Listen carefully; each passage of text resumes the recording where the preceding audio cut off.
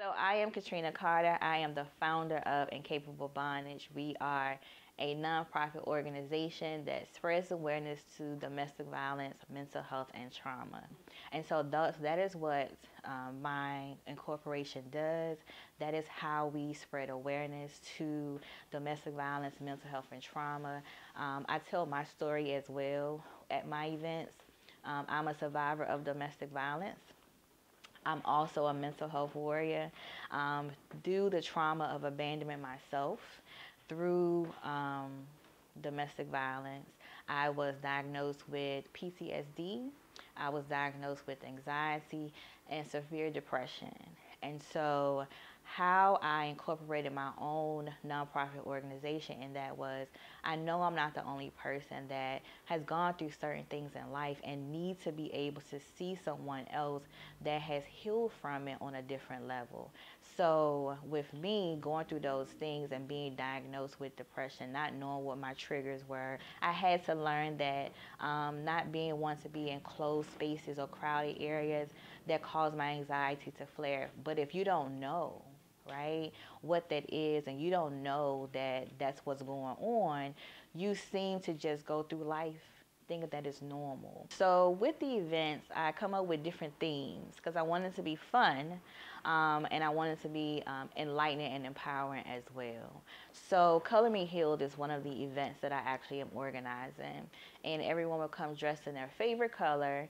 They will um, bring their favorite snacks right? And so while they bring all of these things, the twist to it is is that I'm going to say, okay, you like black. Why do you like black? Because we incorporate black with being down and sad and deaf and things like that. And a lot of people love the color black, right? Um, and then I'm going to talk about pinks and reds and what colors can cause anxiety. Because if you don't know, right, when you go and you decorate your home, there are colors that can actually cause you to feel down and depressed all the time. So that's why when you go to paint your rooms and you go to Home Depot and those places, they want you to to get those pretty vibrant colors, but not too vibrant, right? And that's the thing with colors. Um, another thing that I incorporate is letting you understand the when you don't heal properly right? How you can just keep putting things on the back burner. So one of the activities I'm, i do during the events as well, um, everyone is going to play rock, paper, scissors because I know everybody loves playing rock, paper, scissors. And then all of the winners are going to line up in the front and everyone that lost is going to line up in the back. The trick to that is, is that everyone's going to have a card and that card is going to incorporate trauma. So it's going to either be depression, it's going to be anxiety, it's going to be abandonment. It's going to be all of those things, right?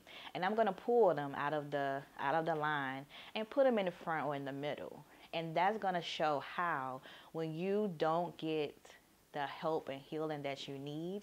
You've pushed it on the back burner, but if you've been triggered by something, it's going to hurry up and going back to the front of the line, and then you have to feel like you have to start all over again.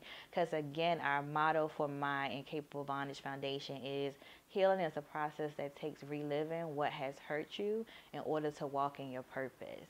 And in order for you to walk in your purpose, you got to go back to your childhood and say, this is what happened. You have to face those not so good things in order for you to be able to heal.